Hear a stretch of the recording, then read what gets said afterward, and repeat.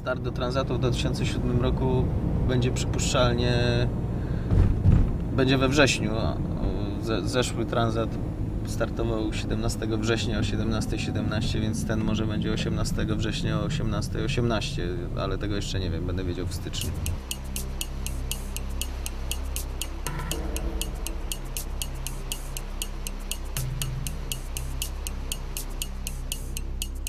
Od niespełna roku przemierzają Europę od mariny do mariny, by trenować i uczestniczyć w regatach. Żeglarz samotnik Jarek Kaczorowski, żeglarz szkutnik Marek Małkiewicz i jacht klasy Mini. Wszystko zaczęło się, gdy Jarek, utytułowany i doświadczony żeglarz, postanowił przepłynąć Atlantyk w najtrudniejszych samotniczych regatach na świecie Transat 6,5. Regaty klasy mini uważa się za najtrudniejsze we współczesnym żeglarstwie. Szczególnie rozgrywany co dwa lata Transat 6,5, którego pierwszym polskim uczestnikiem i na razie ostatnim był kapitan Kuba Jaworski 30 lat temu. Regaty mają dwa etapy. Pierwszy z La Rochelle na Maderę, drugi z Madery do Salvador de Bahia w Brazylii. W sumie ponad 4000 mil morskich. Klasa Mini istnieje od prawie 30 lat. Najbardziej znana jest z regat Transat. Mini to łódka o długości 6,5 metra, zarówno produkcji seryjnej, jak i jest trochę prototypów. Żeglarze są z różnych środowisk i z różnym doświadczeniem. Ci, co bardzo długo pływali, jak i tacy, co mało znają ocean. Bardzo ważnym i trudnym etapem są eliminacje, takie jak te w Les Sables. To, co jest ważne w klasie mini, to duch wspólnoty i przyjaźni, jak i radzenia sobie z problemami. Wszystkie formalności, klasyfikacje, opłaty uczestnik załatwia sam, pokonując kolejne szczeble drabiny prowadzącej do startu. To jeden ze sposobów eliminacji. Ostateczna walka o prawo udziału w samotnych regatach przez Atlantyk w 2007 roku rozegrała się na trasie z francuskiego kurortu Les Sables d'Olonne do Horty na Azorach i z powrotem. 2600 mil morskich w obie strony.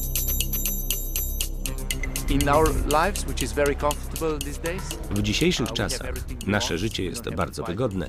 Nie musimy walczyć o jedzenie, o nic. Wszystko jest nam podawane pod nos. My zaś szukamy sposobu, by trochę od tego uciec. A regaty to świetny sposób, by to zrobić. Jest ostra rywalizacja, więc dochodzisz do granic swojej wytrzymałości. To jak pójść na pustynię na 15 dni. To działało na wszystkich, na Jezusa także. Takie regaty uważam za najlepsze doświadczenie i naukę, jakie można zdobyć w życiu.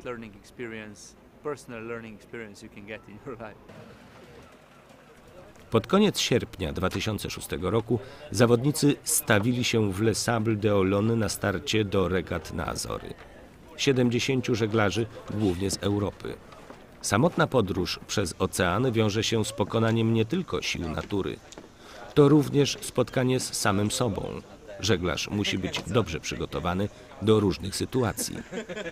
To nie jest tak jak na, na regatach, które wcześniej jakby robiłem, że wypływamy rano, ścigamy się, wieczorem wracamy, idziemy sobie do pubu i rozmawiamy jak, jak wyścig, kto, kto lepiej, kto gorzej, tylko, tylko to trwa dzień, drugi, trzeci, piąty i cały czas trzeba e, trochę spać, trzeba nauczyć się szyb, szybko jakby spać, szybko wypoczywać, e, jeść byle co, ale trzeba jeść, żeby mieć siły, bo, no bo bardzo dużo sił potrzeba. To jest dosyć ciężki kawałek chleba.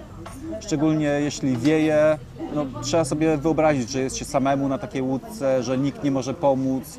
Jeżeli coś się zepsuje, to trzeba to samemu naprawić.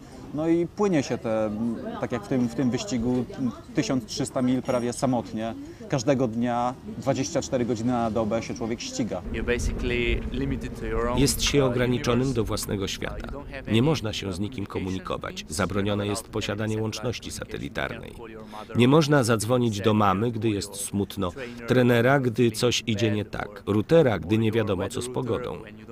jest się w kompletnej izolacji, jak więzień wtrącony do izolatki. Tyle, że na łodzi znalazłeś się z własnej woli. Niewielu ludzi tak naprawdę jest skonstruowanych do tego, żeby, żeby samemu się borykać z, z jachtem tak, tak szybkim i tak fizycznym, tak wymagającym i z oceanem i, i z tym wszystkim. Nie, nie, nie, nie uważam, żebym był jakoś specjalnie do tego predestynowany I, i, i myślę, że nikt chyba nie jest specjalnie predestynowany do tego, żeby, żeby samemu to robić. Ludzie często pytają, jak to jest pływać na takiej adrenalinie. To jest kluczowe zdanie. Chodzi o to, by przejść od adrenaliny do rutyny. Na adrenalinie ma się skoki energii, pracuje się z rywami i gdy coś nie pójdzie, ogromne straty energii. Gdy pojawia się rutyna, jesteś stabilny i jest dobry rytm pracy. To właśnie daje doświadczenie. kiedy się bliżej przyjrzałem temu, co, co, co tu się dzieje, że nie ma, nie ma tu słabych ludzi tak naprawdę. Nawet, nawet dziewczyny, które wyglądają jak, jak takie dzieci w sumie, nawet one są potwornie ambitne i świetnie znają się na żeglarstwie i tu, tu po prostu nie ma słabych ludzi. Z Les Sables d'Olonne wychodzi się na najbardziej kapryśne wody Europy kontynentalnej, na Zatokę Biskajską. Nikt tego akwenu nie lubi. Dobra pogoda żeglarska nagle może zmienić się w ostry sztorm. Płyniemy na Azory, wszystko gotowe. Za chwilę wypływamy z Les Sables z flagami pięknymi na maszcie. Potem będzie krótki wyścig przy brzegu, potem będzie wiatr z zachodu, halsówka, potem przejdzie front dosyć silny i potem będziemy mieli, mam nadzieję, 2-3 dni na spinakera, a potem Bóg wie co, co, co będzie.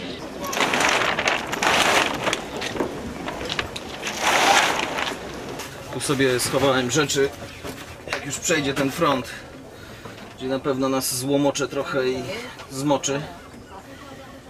Mam rzeczy na tę suchszą część wyścigu, która mam nadzieję będzie rzeczywiście sucha, że prognoza się sprawdzi. Bo jak wiadomo, prognozy lubią się nie sprawdzać. Dzień startu okazał się mokry, mglisty i wietrzny. Nikt jednak nie przypuszczał, że cała podróż na Azory okaże się aż tak trudna. Atlantyk udowodnił, że nie tak łatwo go pokonać na 6,5 metrowych łódkach. Cała trasa obfitowała w wiele niebezpiecznych momentów. Kilku żeglarzy z różnych powodów zrezygnowało. Jeden stracił swój jacht na skałach w pobliżu Horty. Warunki dały, dały wszystkim łódkom ostro do wiwatu, bardzo dużo podartych żagli. E, pięć łódek, z tego co pamiętam, złamało maszty. E, kilka łódek nie dopłynęło w ogóle, zawróciło, bardzo dużo połamanego sprzętu. Te warunki, które, które panowały na Atlantyku w ciągu, w ciągu tego wyścigu, były bardzo trudne. E, Nasz przyjaciel Christian, S- Słoweniec, Adria 510, 509, e, on zanotował 42 węzły wiatru. Kiedy od 25 węzłów właściwie na tej łódce się zaczyna walka o życie. Stałem oparty nogą o kabestan, który normalnie mam na nadbudówce. To jedną nogą byłem oparty o ten kabestan, żeby nie zlecieć na dół.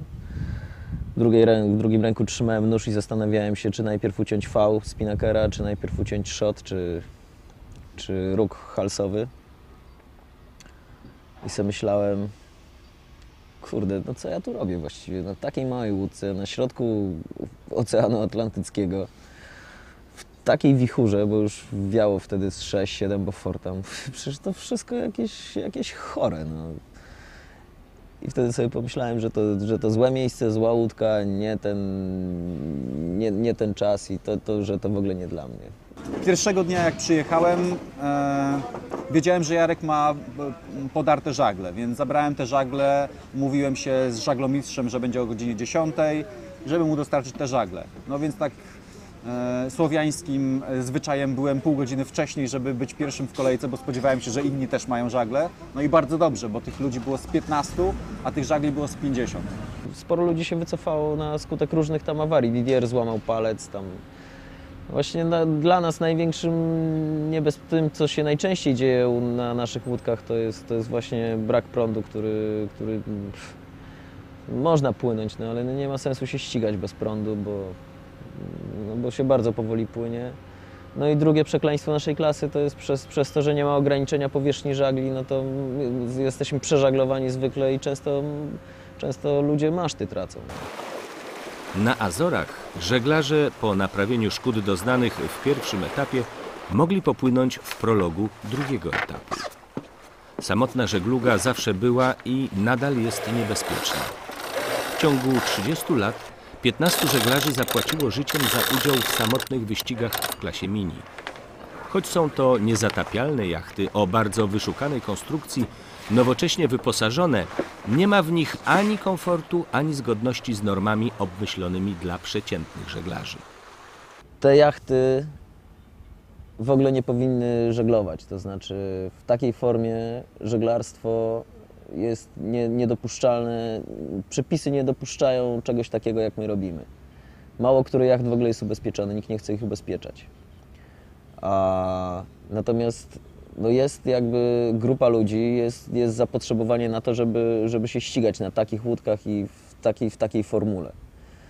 A w związku z tym e, Joel i Denis oni muszą lawirować pomiędzy władzami morskimi, które, które jakby dyktują warunki, na jakich można się ścigać, a między tym, co no, mię- między nami, mię- między, między zawodnikami. Dlatego Joel na przykład olbrzymią uwagę wszyscy przywiązują do bezpieczeństwa. To jest coś, coś takiego, co ze Słoweńcami się śmiejemy, że jak dopuścili cię do regat, to znaczy, że jesteś przygotowany. Sternicy generalnie polegają tylko na sobie i na, swo- na, na swojej wiedzy. Nie ma żadnych dużych biur routingowych, którzy nie ma uaktualniania e, pogody co tam kilkanaście godzin. Oni liczą tylko na siebie z obserwacji nieba i, i z tego i z jedno i, i z prognozy pogody, którą dostają z biura regat raz dziennie, muszą wywnioskować, jakim kursem najlepiej płynąć i jaka będzie, y, jaka będzie następna sytuacja na następne 24 godziny. Przed regatami każ- jest, jest paru jurorów, paru sędziów, którzy, którzy są dla zawodników. I jest tak, że przychodzą, sprawdzają, robi się z nimi listę rzeczy, które jeszcze brakują. Potem się idzie do niego, jak już się uzupełni tę listę, to się idzie do niego, on przychodzi, jeszcze raz sprawdza wszystko, nie tylko to, co tam trzeba było uzupełnić, tylko jeszcze raz wszystko sprawdza. Potem znowu się okazuje, że przeważnie czegoś nie ma, albo coś jest przeterminowane, albo coś i tak długo przychodzi, aż wszystko jest, aż wszystko jest w porządku i wtedy przystawia pieczątkę w porządku i wtedy dopiero dostaje się instrukcję żeglugi i można się zacząć przygotowywać do wyścigu. Jeśli już ktoś podjął się żeglowania na takich jachtach, musi mieć odpowiednią motywację. Jaro znalazł się w szczególnej sytuacji, gdyż w przeciwieństwie do innych zawodników ma na swym koncie żeglarskim szereg tytułów z Mistrzostwem Świata włącznie. Przyzwyczajony do żeglowania w zespole, długiej samotności musi się nauczyć. Motywacja to klucz. Musisz wiedzieć, dlaczego tam jesteś, bo czasem czujesz się jak mnich w klasztorze, a sam podjąłeś tę decyzję. Więc czemu zdecydowałeś się pozostawić swoich ukochanych, bliskich, przyjaciół, by być na tej łodzi bez łóżka, kuchni i toalety, bez możliwości komunikacji? Jesteś głodny i kiepsko się czujesz, bo miałeś kłopoty techniczne i wiesz, że twój wynik jest fatalny. Jeśli nie znasz odpowiedzi na te pytania, nie zyskasz dobrych rezultatów. Musisz być głęboko i mocno zmotywowany. Musisz mieć jasność, czemu to robisz. To jedna z klas, która zmusza cię do zadawania podstawowych pytań w życiu. Moją motywacją jest odkrycie samego siebie, a to jedna z lepszych dróg, by to zrobić.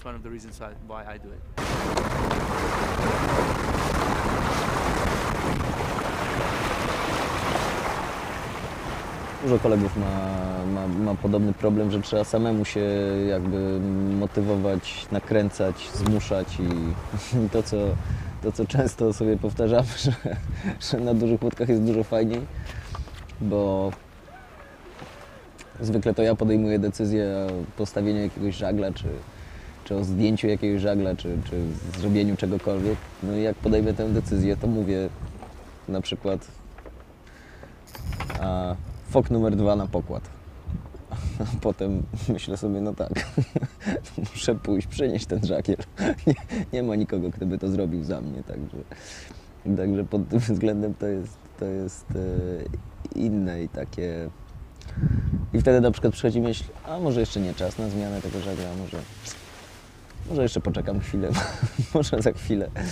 Także wiem z rozmów z kolegami, że, że, że wszyscy mają takie, te, takie przy, przychodzi taki moment zmęczenia i takiego jakby mm, takiej lekkiej apatii, że, że trzeba się zmusić do tego, żeby, żeby jednak wyciągnąć ten żagiel, żeby, żeby zmienić, żeby, a, że być może to coś poprawi.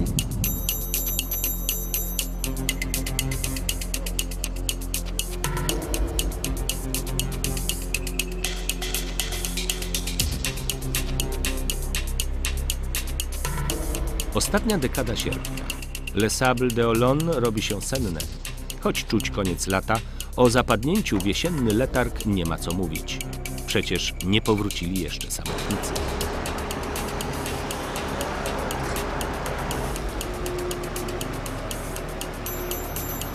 Do portu zaczynają zjeżdżać zespoły pomocnicze, przyjaciele i znajomi żeglarzy. Im jachty bliżej mety, tym temperatura emocji wyższa.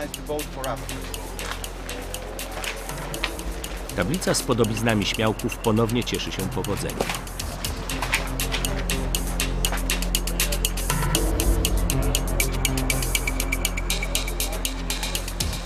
Dzień dobry. Przepraszam za spóźnienie, ale próbowałem or- zorganizować łódkę, bo z najdowszych danych z y, Race Office wynika, że pierwszy zawodnik będzie jutro rano. Hurra! A Jarek? Już jutro? Tak, a Jarek będzie za 2,5 dnia, czyli w miarę szybko. Ale to w ciągu dnia dojdziemy do jakiegoś komputera i sprawdzimy To dokładnie co, pozycję. gołąbki szykujemy, rozumiem, na przyjazd naszych. Gołąbki po polsku Pomidorów pa, i po słoweńsku. Ulubiona potrawa Polaków. i Słoweńcy. I Słoweńców się okazuje. Obie panie reprezentują głównego sponsora, nie są jednak wyłącznie chłodnymi ekonomistami. Emocjonują się i bardzo przeżywają wyścig. Planują powitanie Słoweńców i Polaka. Chcą znać rozwój sytuacji na morzu, więc Marek musi je informować o ci, którzy każdej pojechali zmianie. tutaj i po trzech dniach notowali tam z 250 mil straty, to wszyscy mówili, to nie była dobra decyzja. Im bliżej mety znajdują się jachty, tym większy ruch w biurze regat. Każdy chce znać sytuację na oceanie. Czekamy na ściągnięcie najnowszych pozycji e, z łódki z systemu Argos. To troszeczkę trwa.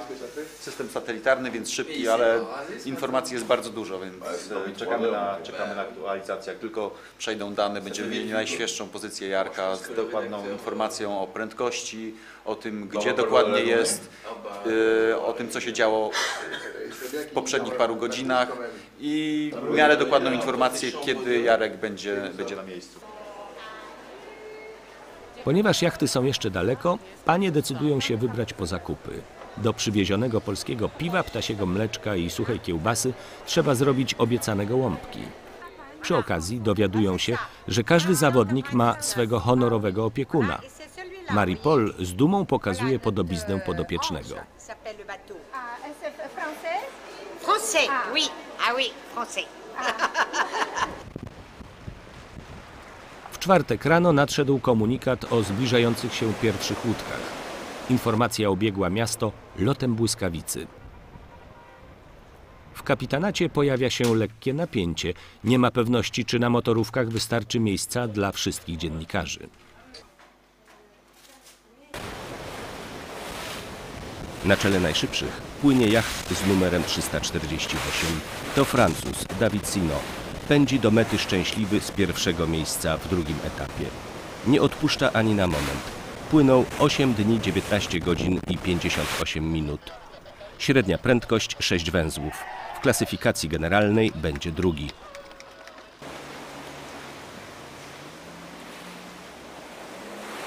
Tuż za nim jego kolega, Francuz Adrien Hardy, pretendujący do głównej nagrody. Był pierwszy na Azorach z bardzo dobrym czasem i bez kar. Jest bezkonkurencyjny.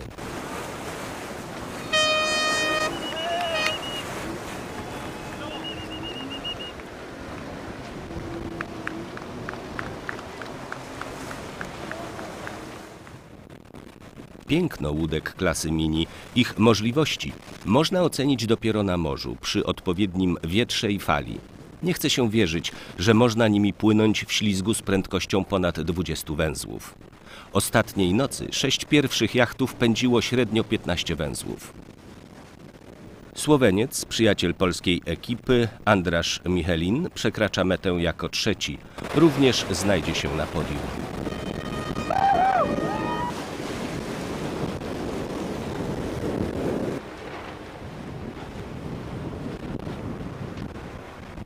Powrót samotników wzbudza wśród turystów i mieszkańców spore zainteresowanie. Wywiadom, opowiadaniom nie ma końca. Szampan leje się na wszystkie strony. Dopiero teraz można wymienić uwagi o ostatniej nocy, o walce przy niemal sztormowej pogodzie. Żeglarze z innych klas, choćby olimpijskich, nie mogą zrozumieć, dlaczego w mini panuje rodzinna atmosfera i nikt nie odgradza się murem od konkurentów. Zawsze jest chęć do pomocy i udzielania porad. Tutaj stworzyła się specyficzna społeczność. W innych kategoriach żeglarskich, gdzie jest więcej pieniędzy, jest też więcej zazdrości i wielkiego ego i tak. A przecież jeśli ktoś ma ci pomóc na Atlantyku, to będzie to najbliższy żeglarz, więc warto mieć dobre kontakty.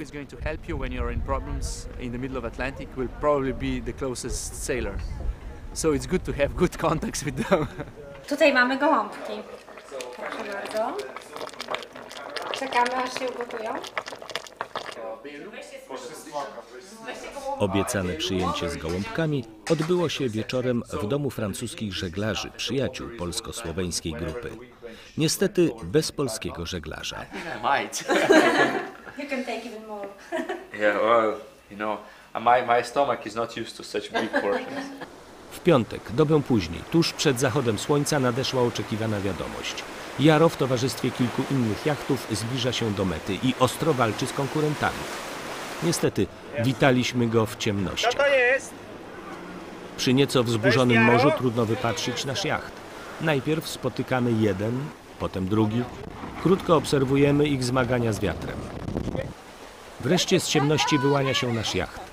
Jaro ofuknął nas z powodu reflektora. Oślepiony nie widział boi wyznaczającej metę. Marek zakazał więc świecenia po kadłubie.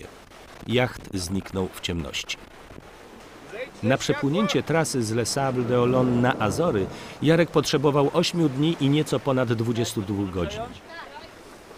A droga powrotna zajęła mu 10 dni, 7 godzin, 40 minut. Jaro znalazł się w prototypach na 20 miejscu. To bardzo dobra pozycja, jeśli wziąć pod uwagę krótki okres przygotowań i treningu. Dzień dobry, cieszę się, że stoję na, Prawie na gruncie. to prawie na gruncie, no, na chybotliwym pomoście. Cieszę się, że stoję, bo tyłek mi boli. We can't, we can't stay like this. Okay. We can't uh, attach the bow. Ale żeśmy gnali z takim jednym, który mnie wyścignął na koniec. Nie miałem, nie miałem spinakera takiego, jak powinienem mieć, bo, bo mi zamek się urwał od, od refowania spinakera i musiałem sobie radzić z richerami, z solentna, czy z takimi żaglami nie, nie dość dobrymi na te warunki. No ale broniłem się dzielnie cały dzień, na koniec dopiero mnie, mnie łyknął, ale, ale to ładne było, bo od 8 rano aż do teraz żeśmy się ścigali tak bardzo blisko. To co lubisz? To co lubię najbardziej właśnie, jak nie widzę przeciwnika to nie, nie za bardzo mi pasuje, jak, jak, jak ktoś ten, jak ktoś się pojawia na horyzoncie to od razu taki zastrzyk energii.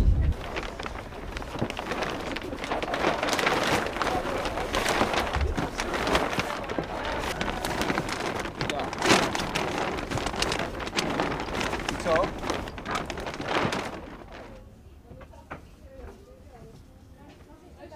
Jak widać, nie, niedużo jest tutaj miejsca. A pod koniec wyścigu to już się właściwie nie myśli o robieniu porządków, tylko, tylko o płynięciu, i to jak najszybszym. Ale nie woda, ale nie woda. Siadę lewo.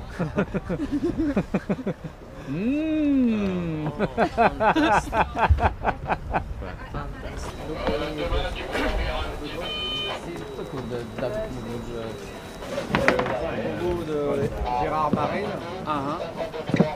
No, and uh, either six uh, on the scratch. Yeah. And two before the camera, I just also the finish line for the second. Yeah. I know that. I know that. It's all good? Yeah. Jak, jeżeli mam rzeczy w samochodzie, to jesteśmy... jesteśmy... Masz ten aparat działek, tak? Ja. Jeszcze tylko dopełnienie ostatniej formalności w biurze regat i można powiedzieć, że plan na 2006 rok został wykonany. Wszystkie kwalifikacje zaliczone. O, ja nie wiem, czy to tak szybko pójdzie. To, to, to nie jest tak, że po roku nagle okaże się, że jestem geniuszem tej klasy i że tu ludzie, którzy, którzy w czołówce pływają, to pływają 5 lat. Także to ja nie jestem przekonany, czy to czy zdążę się nauczyć tego wszystkiego. To, to, to jest zupełnie inne, inne żeglarstwo niż to, które do tej pory robiłem. Uh, Jaro jest początkujący w tej klasie. Jest uznanym i doświadczonym żeglarzem. Jego CV jest o wiele bardziej imponujące niż moje, Uh, ale tak jak powiedziałem, ta klasa jest bardzo specyficzna. Nie da się nauczyć w niej pływać, pływając gdzie indziej. Możesz być bardzo dobrym żeglarzem i mieć w tej klasie problemy. Możesz być Um, przeciętnym żeglarzem I być uh, świetnym w klasie mini. uh, uh, Dla mnie jest on człowiekiem, który wie, czemu to robi. Ma duże doświadczenie i ma ludzi, którzy go wspierają, co także jest bardzo ważne. Myślę, że pracując ciężko, w przyszłym roku nie będzie jeszcze gotowy na podium, ale spokojnie na bardzo dobrą lokatę, pierwszą trzydziestkę. Uh.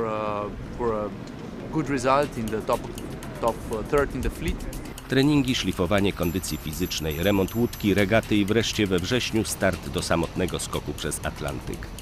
Tak zapowiada się najbliższy rok wszystkich żeglarzy zakwalifikowanych do Mini Transat 6,5. Celem kapitana Jarosława Kaczorowskiego jest zajęcie miejsca w pierwszej dziesiątce. Ponieważ należy do ambitnych i walecznych zawodników, wszystko jest możliwe. Start 16 września 2007 roku z La Rochelle.